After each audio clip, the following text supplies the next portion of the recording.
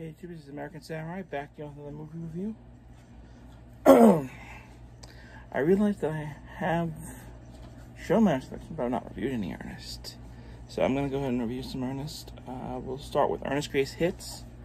Uh, this is a compilation of Ernest commercials. Uh, let me read here. Before he went to Africa, Ernest P. Worrell was a busy man. See him host a variety of commercials hawking everything from convenience stores to the newly created UHF TV outlets.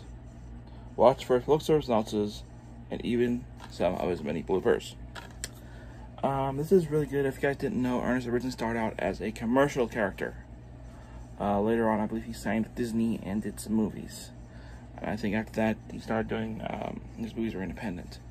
Um, but overall, if you've not seen his Ernest, the commercials, they're very entertaining, very laugh out loud funny.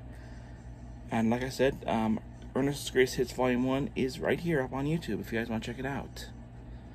I really enjoy it. I give it a 5 out of 5, and that's my review of Ernest Greatest Hits Volume 1. Until next time, this is your world as I see it. Good night, everybody.